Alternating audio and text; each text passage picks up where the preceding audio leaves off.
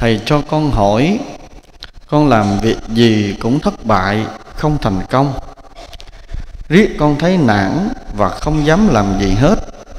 Vì khi làm, con lại sợ khó khăn, sợ thất bại xin thầy chỉ cho con phải làm sao? Trong cuộc sống về công việc hay tình cảm hầu như tất cả chúng ta đều có thất bại. Thất bại. À, thí dụ như trong cái mối tình chúng ta yêu người đó đầu tiên nhưng chắc gì người đầu tiên chúng ta yêu sẽ là người đến với ta để kết tóc xe tơ, để nên duyên chồng vợ. Thường mối tình đầu rất hay đổ vỡ, ít có ai mà mối tình đầu để dẫn đến hôn nhân để rồi sống với nhau hạnh phúc. Cho nên đó cũng là thất bại trong tình yêu. Và trong cuộc sống, trong học tập, trong công việc cũng vậy. Có nhiều người họ cố gắng phấn đấu họ tự trang bị cho mình kỹ năng, kinh nghiệm, nhưng đôi lúc không gặp thời, không gặp được vận may. Hay nói theo nhà phật của mình là không có phước, thì sự thất bại nó đến, sự thành công nó không có mặt. Và hầu như tất cả những người thành đạt, những danh nhân tài giỏi đều là những người thất bại và thất bại rất nhiều. Nhưng khi thất bại, họ không nản chí. Một lần thất bại cho họ thêm kinh nghiệm để họ trang bị cho mình thật nhiều những kiến thức để họ đứng lên và đi tiếp về con đường phía trước họ sẽ không vướng phải cái thất bại như lần trước nữa. Vậy thì nhìn ở một mặt khác, thất bại không phải là chấm hết, mà thất bại chính là nấc thang để giúp chúng ta bước lên đài vinh quang, để giúp chúng ta bước lên đỉnh cao của thành công. Cho nên chúng ta đừng sợ thất bại mà chỉ sợ chúng ta không có ý chí, chúng ta không nỗ lực, chúng ta không phấn đấu sau thất bại. Chúng ta té thì chúng ta phải đứng lên và tiếp tục đi về phía trước. Đừng té rồi nằm luôn, hoặc là té rồi đứng lên nhưng không gan dạ đi về phía trước, mà quay lưng hoặc là đi thụt lùi về phía sau. Đó mới là điều đáng sợ cho nên thất bại người ta nói nó là mẹ đẻ của của thành công. Cần có thất bại để cho ta thêm nghị lực, cần có thất bại để cho ta thêm ý chí, cần có thất bại để cho thành công của chúng ta lớn hơn. Thế cho nên đừng sợ thất bại, cứ nỗ lực phấn đấu đi về phía trước, tương lai tươi sáng sẽ mở ra cho chúng ta. Thầy cho con hỏi, con là phật tử đã quy y, mẹ con thì là chức sắc của đạo cao đài. Khi mẹ con mất, em con làm lễ cúng cũ ở thánh thất cao đài. Còn con làm lễ cúng thất mẹ ở chùa. Vậy có được không thầy? Mẹ con đi về đâu? Xin thầy chỉ dùm đi về đâu? Tức là cô phật tử này là phật tử hiểu đạo, cho nên là làm theo những sự chỉ dạy của quý thầy khi mẹ của mình đã quá vãng.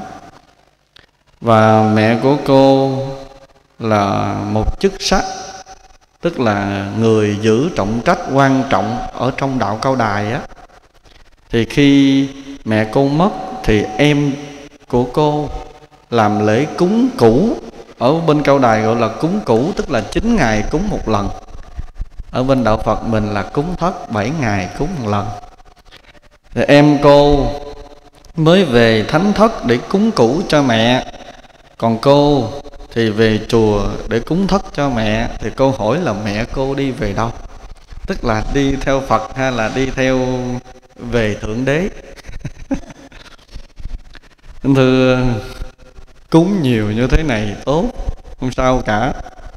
Giá như mà phật rước không kịp thì thượng đế rước cũng không sao. Và nếu như trong một gia đình có 10 người con mà 10 người con đó đi theo 10 tôn giáo khác nhau thì ngon nữa. Ngon cái là đứa con thứ nhất nó đến chùa nó cúng, đứa thứ hai đến cao đài, đứa thứ ba nó đến nhà thờ, đứa thứ tư nó đến thánh đường của hồi giáo, đứa thứ năm nó đến đạo bà la môn gì đó, vân vân. Thì nhiều người cúng, nhiều pháp sự được diễn ra, nhiều người cầu nguyện thì tốt, không sao cả rồi còn nói đi về đâu thì thầy trả lời như thế này. Đi theo nghiệp, đi theo nghiệp. Cái chuyện cúng kính và cầu nguyện của mình, đó là ta đang trợ duyên, tạo duyên cho người mất, chứ không phải việc cúng kính quyết định người mất đi đâu. Đại chúng phải hiểu cho tường tận chúng ta làm những cái pháp sự, tổ chức cúng cầu siêu, cúng mỗi thất, cúng 21 ngày, cúng 49 ngày, cúng 100 ngày. Tức là đang tạo duyên, đang tạo thêm phước cho người mất. Chứ không phải ta cúng đó để quyết định đưa họ tái sanh. Mà họ tái sanh, họ đi về đâu sau cái chết? Tất cả đều theo nghiệp họ đã tạo trong đời sống một người họ tạo nghiệp quá nặng. Họ dãy đầy những tội ác.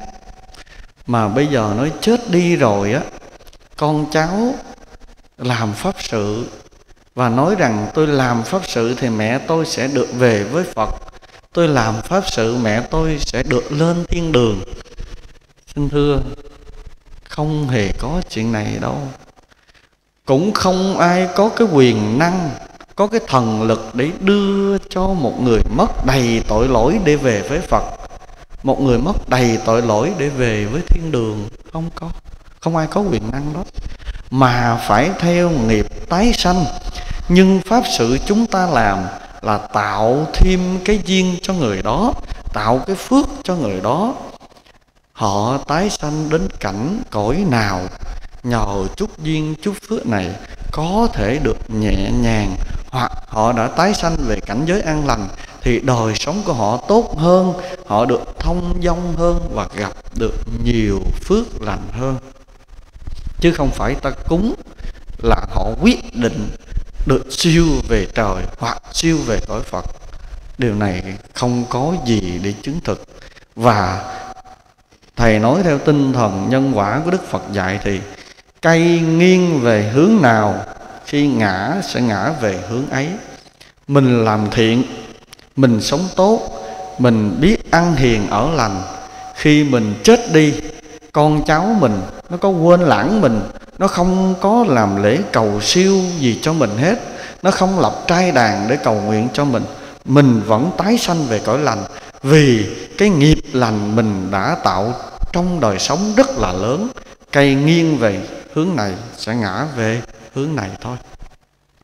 Mình tạo quá nhiều những tội ác, mình sống với nhân phẩm của một con người nhưng đánh mất lương tri, lương tâm của một con người. Để rồi lừa lọc, để rồi gạt gẫm, để rồi hãm hại người này, người khác.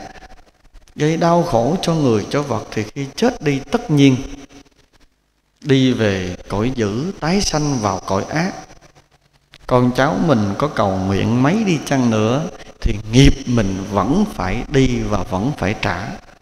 Chứ không phải mình tạo tội xong, mình để lại cho nó 100 triệu 200 triệu. Mai mốt tao chết, tụi bay nhớ. Mời quý thầy, mời các cha, mời các chức sắc cao đài rồi về để cúng, để cầu là tao sẽ lên cõi thiên đường, tao sẽ về với chúa, tao về với phật. Thưa, không có chuyện đó đâu nha. Không bao giờ có cho nên để trả lời là thầy nói, hương linh đi theo nghiệp của mình tạo trong đời sống.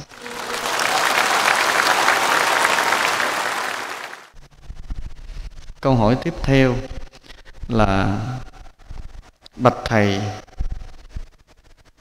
có những vị phật tử lớn tuổi, đáng tuổi cha, tuổi mẹ, tuổi ông, tuổi bà mà lại xá chào, có khi quỳ lại những thầy nhỏ tuổi. Như vậy có đúng hay không? Quý thầy có tội hay không? Cái đúng hay không đúng thì chúng ta trả lời trước là đúng. Thưa người phật tử, tại gia phải có lòng cung kính với tam bảo, mà quý thầy là hình ảnh, là những người đại diện cho tăng đoàn tức là đại diện cho tăng bảo. Mình lại một vị thầy, không có nghĩa là mình lại riêng cá nhân của vị đó, mà mình đang lại tăng bảo thông qua hình ảnh của một vị thầy. Cho nên cái việc lễ lại đó là đúng. Nhưng còn quý thầy ngồi thọ nhận cái lại của phật tử có tội hay không thì phải xét vào đức hạnh tu tập của vị đó. Vị đó có tinh tấn nỗ lực tu tập hay không? Có quay nghi, có giới lực hay không? Nếu một người xuất gia, dù là sa di hay lớn hơn là tỳ kheo, cao hơn nữa là bậc thượng tọa, bậc trưởng lão hòa thượng.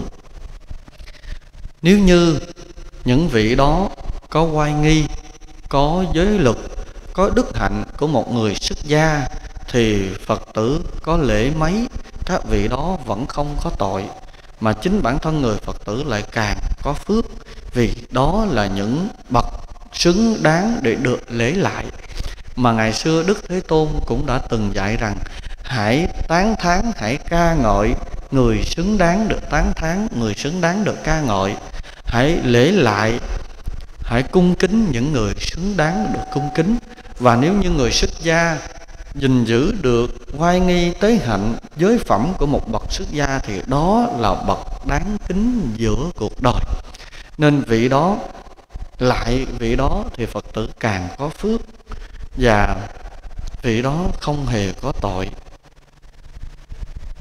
Còn nếu như mình là người xuất gia, không tròn bổn phận của người xuất gia, không giữ gìn được oai nghi, không thanh tịnh được giới lực thì mình thọ nhận cái lễ lại của phật tử tổn giảm cái phước dữ lắm, tội dữ lắm, tội dữ lắm. Nhưng ở đây thầy nói thêm cho phật tử hiểu,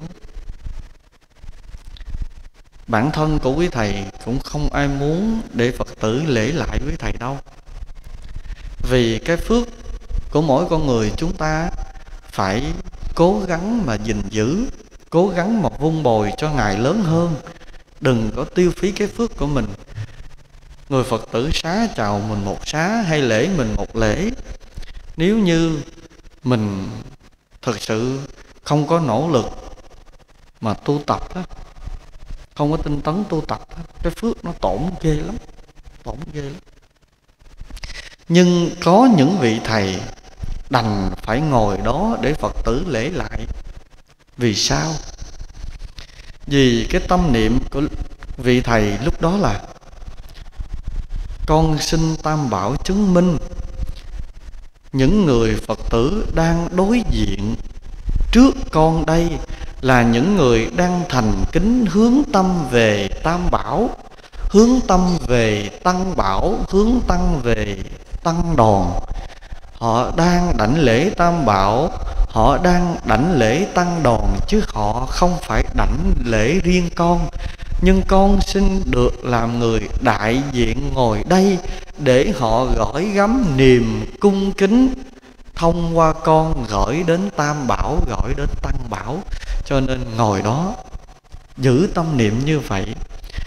Là mượn từ lực của tam bảo, ai thần của tăng bảo để gửi đến phật tử chứ không phải vui thích gì ngồi đó để nhận lễ lại. Còn nếu một vị thầy ngồi đó thấy phật tử lễ mình, tự khởi niệm, tự tác ý lên rằng, tôi có phước quá, tôi tu tập tốt quá, tôi có đức hạnh quá, phật tử phải lễ lại tôi. Thì vị đó không xứng đáng lễ lại. Vị đó không phải là người đáng kính, bởi vì vị đó là người đang nuôi dưỡng bản ngã trong lòng mình ngày một lớn hơn. Nên thầy xin chia sẻ câu hỏi phật tử như vậy.